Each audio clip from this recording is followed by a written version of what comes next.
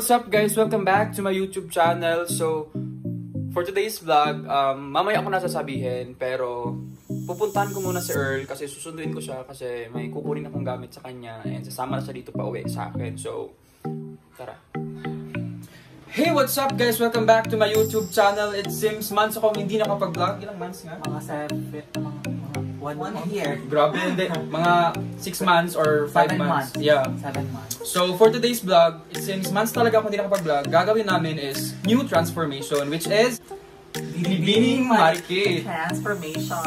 So, before anything else, ipapakilala ko muna sa inyo isa sa mga pinakamagaling na makeup artist dito sa Davao. And marami na siyang na-transform, and marami na siyang na-make-upan ng mga famous here in Davao. And siya si Earl Joshua Ibanez. Hi guys! Hi everyone! So if you have an event, just book with me. And here's my social media accounts. Ganun. So, first thing to do is Maglalagay ako ng contact lens sa kanyang pangit na mata. Charot. So it's a color gray. It's from Rainbow Project guys. Just visit them.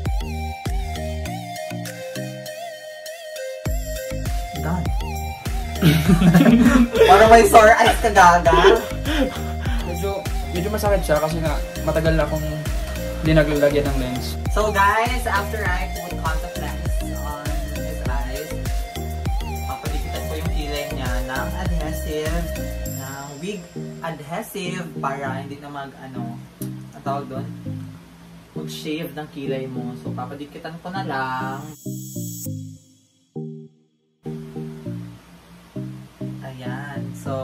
Let it dry. Next is my favorite primer of all time. Charot! It's the Maria Badesco Meke Craft. A little lang. So, din. Ending ha, tubig ha. Dito tubig, gaga! Ayan. So, after I put the um, primer, of course, let's start the foundation now. Eh, wait. Before pala, before we put foundation, lag lagyan ko muna ng powder yung pinatuyo kong adhesive sa kilay niya. Just pop it away. Charot. Pop it away! Kasi it's And then, we can now put foundation now. So, nag-post ako, nag-post. Na? Nag sa IG ko, ask me anything, funny question. So, madaming nagtanong. So, sasagot, sasagutin ko lahat. Lahat talaga. Marami sila. Yeah. Ano ba unang kong sasagutin dito? Yung pinakauna ng reply. Ano na, pinakahuli. Tap ka dito sa akin. Ayan. Uh, Ito by the way guys, it's the um Fit Me Shade 310. I mean 130. So, nagtanong ito si Teacher Nicolay. Ito yung tanong niya. Inang, bakit gray lagi ang nakikita naming underwear sa post mo? Pa-shout out po. Hi, Teacher Nicolay. Hello po. Gray. Gray. Gray yung grip ang Kasi po, ah, gray yung drip ko kasi gray naman lahat ng binibili ko na drip. Minsan lang yung black. Ayoko nung white kasi mabilis dumi. inspired by Fifty Shades of Gray. Yeah, exactly. Kaya So, pala. itong, itong pangalawang tanong, from Greg. Si Greg is from Dubai. Ang tanong niya, bakit ang English ng bulaklak ay flower, eh ang bulak naman is cotton? Ano yun? Ano yun? Flower. Cotton. Yung sa, sa unan siguro. Cotton. Cotton. Mag-google ka! Greg! Google ka, Greg! Greg! Ano ba? Pinapahirapan mo ako ah. Bulak. Bulak. Ano? Chicharong bulak? Plak? Mag-google ka, Greg. Huwag mo kami na ano, may virus pa. Ang hayop.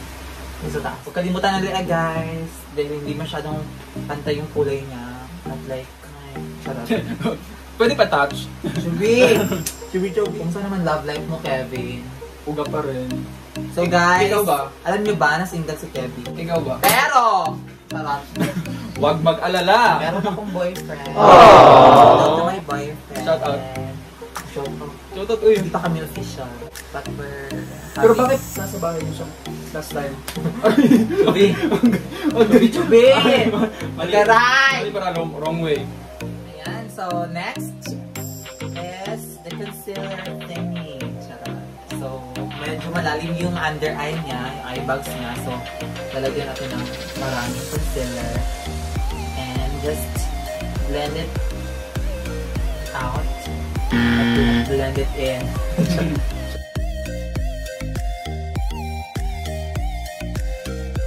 then, use Beauty Blender, guys. My favorite color.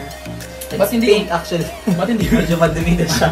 But it's Ba't safe. beauty blender? Ba't hindi yung umiikot yun? Gaga, iba yun. ah! Ayan, just i uh, dadump nyo lang siya, guys. Oh. Ayan. Unti-unting tuma-transform.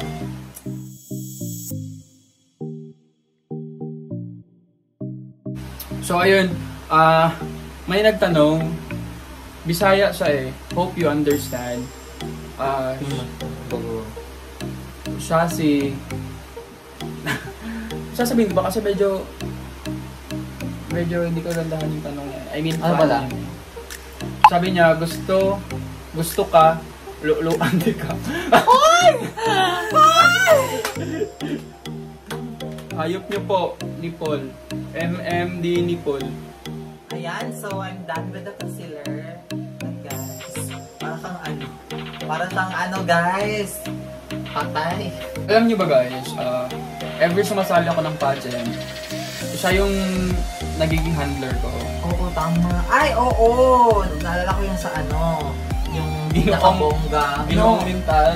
Yes, after ginoong mental yung ano, yung pinakabongga band Star Korean. Reason. Yes, sa Joji. Pero it, ikwento mo na yun yung ginong mental. Asking guys, um, photo shoot ng ano, ginoong mental, ano, Yeah. 2000, 15. 2015. And first time kong sumali, right? First time yung sumali. Pinilit niya ako. Yes. Kasi hindi naman talaga ako ma-pageant eh. Uh, after after nun lahat-lahat ng mga registration, ganun-ganon, photoshoot na, photoshoot day na, na ginawang mental. Ilang candidates na kayo nun? Mga, mga 9. 10? 9? I did 9 marami. 14. Basta mga less than 15. Ganyan na lang. Oh.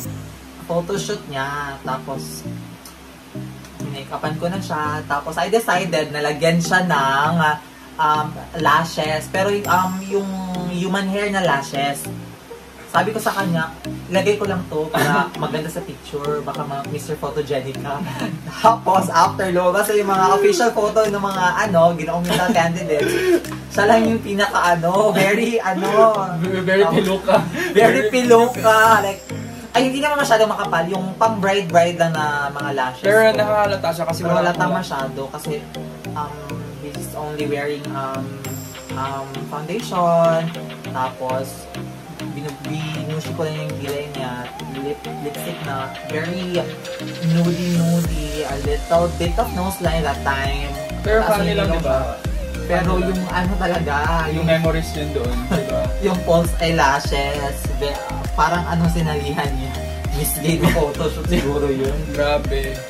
Ayan, so guys, I'm putting this um, Denai powder. Diba? You can still remember pa. 2015. Tapos, yung ano year Last- yung sa Joji? Last last year, Last 2018. last year. Hakot Award! Yeah. Humakot Award ka! And shoutout pala kay Miyuki yung sa ano niya, sa wardrobe niya. Very, you know, Yeah. very festive. Daog. very daog. Diba? So, Tapos, after guys, just brush, brush, brush. Eight times a day, charot. tapos minsan, pag may event ako, tapos hindi siya available, yung kambal niya kinukuha ko. Kambal ko. Kambal to ko. Namiss ko na siya. Yeah, me too. May vlog kami, yung photoshoot with Oh, Muñeca. nakita ko. Kagabi na actually. Yeah, yeah. Yun. Siya yung kinuha ko makeup artist. Pag wala siya, sometimes kasi mas madami siyang mini-makeupan once a week. Sorry. Once a week? I mean, madami siyang mini-makeupan in in in a week. In a week, seven seven ang mini-makeupan niya. Tapos ng tao. Rick! Suki to sa Marco Polo eh. I miss Marco Polo. Ng Marco Polo. For So one year lang man siguro. Ayan, so next guys is the contour. So, hindi ako nag-contour using creams, but I do have a lot of contour creams, but I'm Comfortable. comfortable. ano? Continue na, continue. Continue na yun. Comfortable bed. Very comfortable or ah, mas prefer ko na gamitin tong ano, powder. So it's from the Jacqueline, ang dumi. Chismis, so this shade.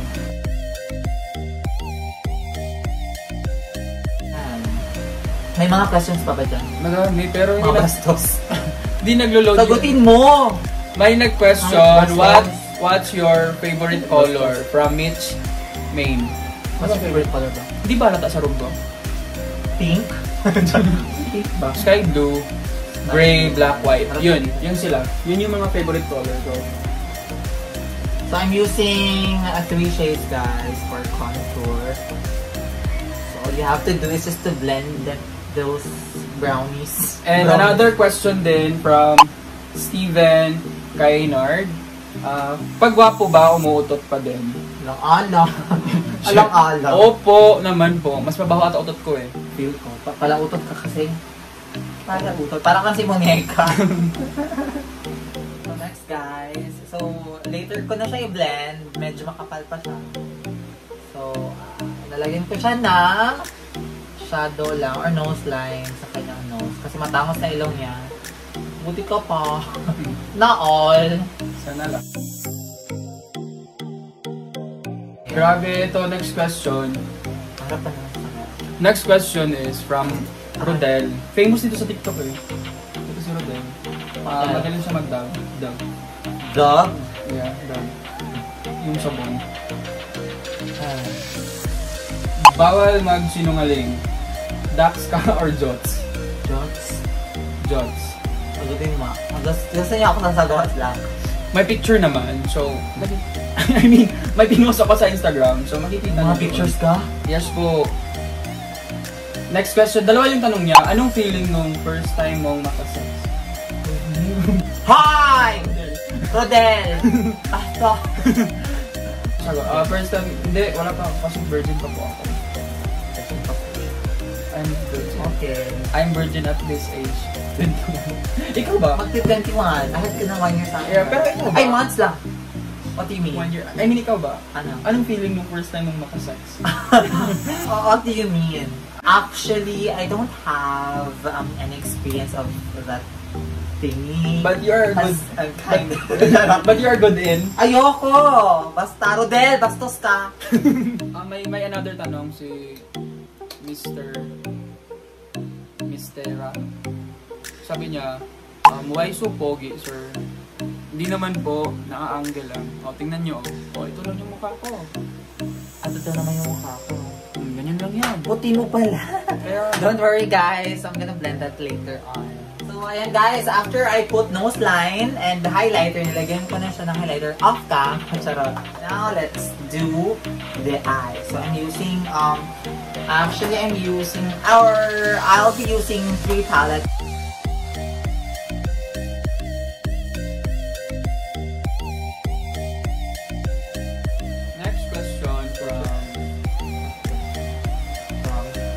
Mitch. Hmm. Who was your first celebrity crush and still crushing on them? Madami. Miss Vernon. Liit na mukha niya. Parang ganito lang, oh. Bisa Nakita na kami ni Chris Vernon. Ay, friends. I mean, Actually? nakita na kami ni Chris Personal? Vernon. Yeah. Nung nasa Gmall siya. yun. Actually, sinabi ko ko As in, Yeah, yung nasa Gmall siya. Tapos nag-promote ng phone na pinag... may, wala siyang phone? Hindi, I mean, what I mean is, nag-promote siya sa phone na Endorser endorser siya. Yung Oppo something. And, ako kasi yung napili sa guest. Something, nakat nakatayo lang kasi ako. Tapos, Wait lang. ako yung napili sa guest niya. Tapos? Napunta sa stage. Kaya yun, meet and greet ka ng shake hands and Like, on the spot? yeah,